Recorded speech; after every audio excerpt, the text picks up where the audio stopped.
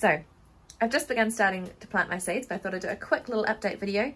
So as I put them in the ground, or in the seed raising mix, I write them in. What I've pre-done is I've filled these all with seed raising mix and watered them to begin with. And I label them as I go. And to begin with, I just put all the seeds on top. And then what I do is I cover them afterwards. And what I've started doing to make things a lot easier is just grabbing the seeds I want and then inside the packets putting the labels that I've pre-done so that it makes it a lot easier just to grab the label and then put it in next to the plant. So there's my quick little tips on how to get your seeds started ready for spring.